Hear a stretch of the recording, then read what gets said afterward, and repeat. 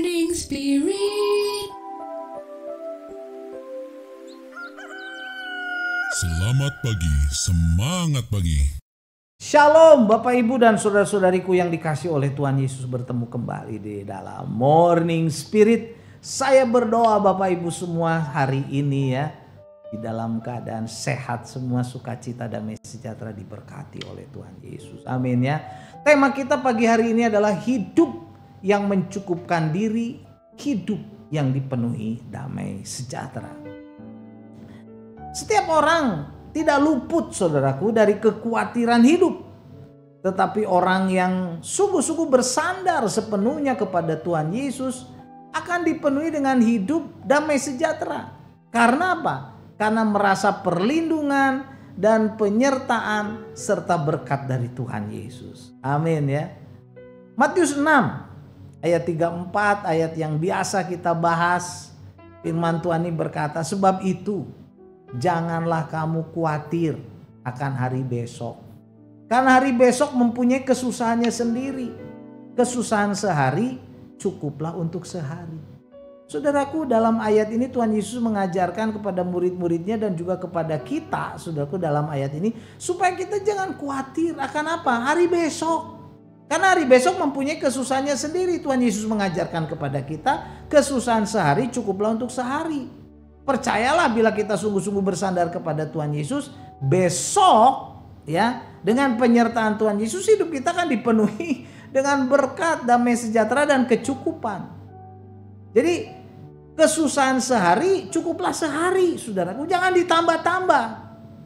Jadi kita tidak usah membawa beban misalnya masa lalu kita, kemudian ditambah lagi beban kekhawatiran hari besok padahal besok belum terjadi atau tahun depan atau 10 tahun ke depan jangan takut. Ya, karena saat kita melangkah bersama dengan Tuhan Yesus, Tuhan Yesus akan membimbing kita, memelihara kita dan kita harus percaya, Saudaraku, Tuhan akan mencukupi hidup kita. Kita akan dipenuhi dengan damai sejahtera daripada Tuhan Yesus. Amin ya. Haleluya. Nah, Saudaraku, ada tiga kebenaran yang uh, boleh kita pelajari pada saat ini bagaimana kita dapat hidup mencukupkan diri dalam Tuhan Yesus sehingga hidup kita dipenuhi damai sejahtera. Ya, hidup mencukupkan diri, hidup yang dipenuhi damai sejahtera, saudaraku. Amin ya. Kebenaran yang pertama, saudaraku, hidup yang tidak membawa beban hari kemarin atau beban masa lalu. Jadi hidup yang mencukupkan diri, yang dipenuhi damai sejahtera adalah hidup yang tidak membawa beban hari kemarin atau beban masa lalu. Yang lalu sudah berlalu, saudaraku. Filipi 3 ayat 13 dan 14, saudaraku ya ayat yang terkenal ini berkata, Saudara-saudara, aku sendiri tidak menganggap bahwa aku telah menangkapnya, kata Rasul Paulus. Tapi inilah yang kulakukan. Aku melupakan apa yang telah di belakangku. Dan mengarahkan diri kepada apa yang di hadapanku. Dan berlari-lari kepada tujuan untuk memperoleh hadiah yaitu panggilan sorgawi dari siapa? Dari Allah dalam Kristus Yesus. Jadi lupakan saudaraku masa lalu kita. Jadi dalam ayat ini Rasul Paulus dengan pimpinan Tuhan mengajarkan kepada kita supaya kita melupakan apa yang telah di belakang kita. Atau melupakan masa lalu kita. Sekarang kita mengarahkan diri ke depan kepada Yesus, kepada panggilan sorgawi. Setia kepada panggilan sorgawi, setia kepada keselamatan yang sudah Tuhan berikan kepada kita. Kita akan dipenuhi dengan rasa cukup, dipenuhi dengan damai sejahtera. Ya sekali lagi saudaraku, tinggalkan masa lalu, tinggalkan beban masa lalu. Saudara, memang mungkin sulit pendeta gitu ya, sulit meninggalkan masa lalu. Saya mengalami kepahitan, kekecewaan, ditipu, mungkin disakiti, marah dan sebagainya. Tapi Alkitab berkata, lupakan, tinggalkan. Kalau kita nggak bisa melupakan, tinggalkan masa lalu. Pandang arah hidup kita ke depan kepada Yesus, pada panggilan sorgawi yang dipenuhi dengan berkat. Amin ya. Mazmur 103 ayat 2 saudaraku Mazmur yang indah ini berkata Pujilah Tuhan hai jiwaku Dan yang jangan lupakan segala kebaikannya Ini yang harus kita ingat Kebaikan Tuhan jadi kita lupakan masa lalu, Jangan lupakan kebaikan Tuhan yang sudah menyelamatkan kita. Inilah yang akan menjadi kekuatan memberikan kepada kita damai sejahtera. Amin ya. Yang kedua, saudaraku, hidup mencukupkan diri adalah hidup yang dipenuhi damai sejahtera. Karena itu kita tidak boleh khawatir akan hari besok. Besok belum terjadi ya.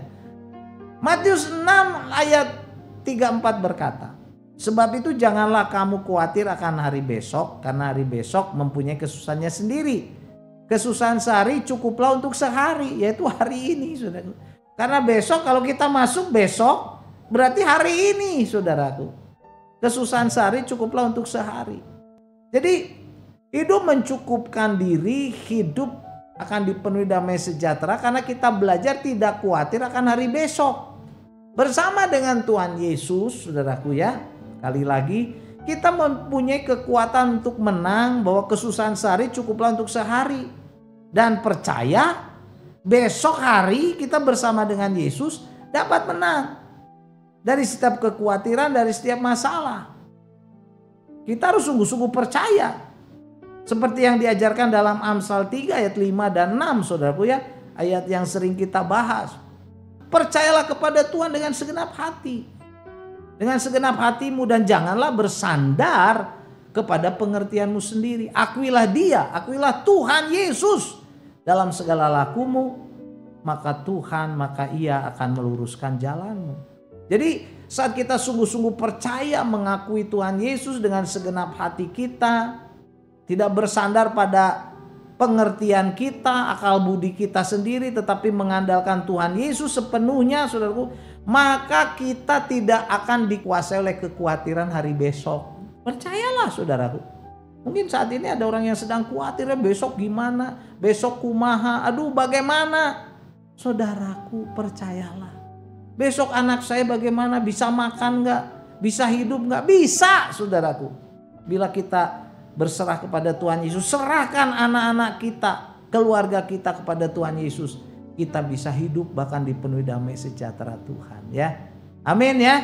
Andalkan Tuhan, dia akan meluruskan jalan kita dan memberkati jalan kita. Percayalah saudaraku. Haleluya. Kebenaran yang ketiga, hidup mencukupkan diri, hidup yang dipenuhi damai sejahtera adalah hidup yang mengandalkan Tuhan hari ini dan hari esok. Yeremia 17 ayat 7 sampai 8. Wow, ayat hafalan kita yang sering kita bahas berkata, "Diberkatilah, diberkatilah orang-orang yang mengandalkan Tuhan, yang menaruh harapannya pada Tuhan."